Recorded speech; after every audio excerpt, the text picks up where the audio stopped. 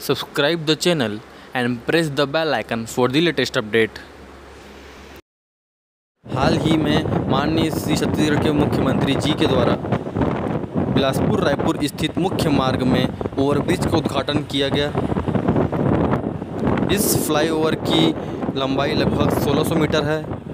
इस फ्लाईओवर के बनने से बिलासपुर में ट्रैफ़िक जाम की जो समस्या थी, वो काफ़ी हल हो चुकी है।